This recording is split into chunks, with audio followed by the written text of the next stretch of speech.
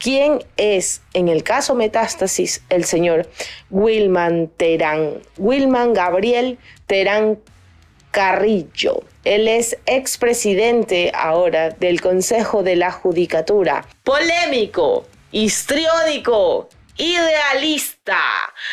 Les voy a contar quién es esta mañana, uno de los 38 del caso Metástasis. Su nombre causó estupor en medio de la lista de Metástasis. No podía ser de otra manera. Era hasta hace unos días nada menos que el presidente del Consejo de la Judicatura y de repente lo vimos preso. Le fue negada el habeas corpus y él jura que es inocente. ¿Qué hizo Wilman? Dice la fiscalía que cuando Terán se desempeñaba como juez de la Corte Nacional de Justicia en 2022, su rol de colaboración con la estructura de crimen organizado radicaba en la esfera de planificación que el GDO proyectaba para comprar las decisiones de los magistrados nacionales frente a un eventual a una eventual presentación de un habeas corpus a favor del hermano de Leandro Norero.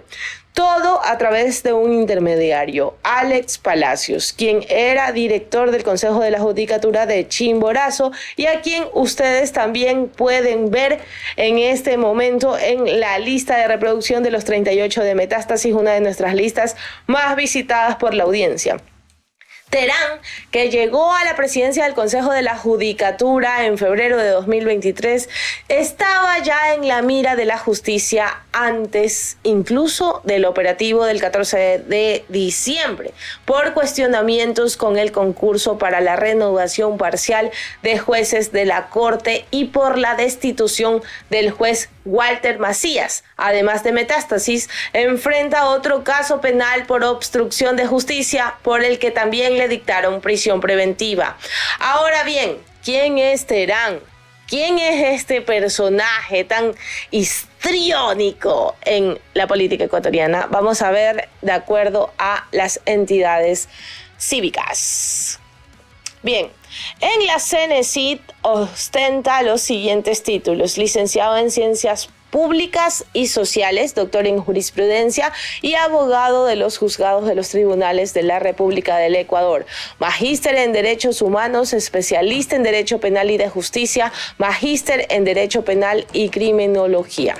En el SRI estos han sido sus aportes desde el año 2018, una media de 6 mil y algo de dólares, 6 mil y 7 mil entre 2018 y 2020 y 4.000 en 2021 y 9.000 en 2022. Siguiente.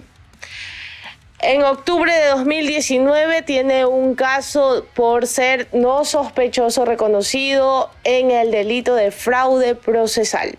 En el Consejo de la Judicatura, estos son los casos que encontramos contra Wilman Terán. Cuatro habeas corpus, siete habeas data, 53 medidas cautelares, dos medidas cautelares adicionales, cuatro subjetivos, un objetivo, una acción de acceso a la información pública, una acción de responsabilidad objetiva del Estado y una reparación económica. Continuemos.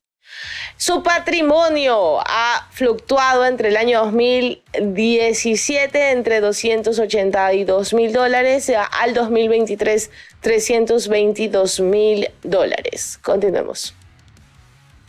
Wilman Terán, expresidente del Consejo de la Judicatura.